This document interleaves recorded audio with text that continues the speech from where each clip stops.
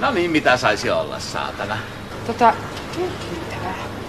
Tota, tarjousmakkaraa 200 grammaa. Palana vai siivuina, saatana? Palana kiitos. En aika mitä kieli käyttää. Tästä me teemme kyllä valituksen. Olkaa hyvä, perkele. Saisiko olla jotakin muuta helvetti?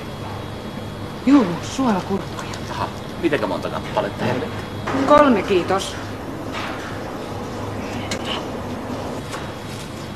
Oh, voihan, kusi, kun meinas tippua lattialle koko kurkkupussi. Noin. No, saisiko olla sitten jotakin muuta vielä? Perkele. Jauhelia.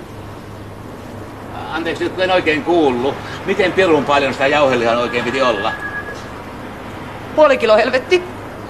Annaanko tätä tavallista vai sitä vitun paistia? Laura. Sitä saatanan tavallista, jollei se ole helvetin rasvasta. Ei, kyllä tää jumalauta on ihan helvetin hyvää. Kuinka paljon? No, no saatana. Pankaa nyt helvetti koko perkeleen kilo siihen vitun pakettiin.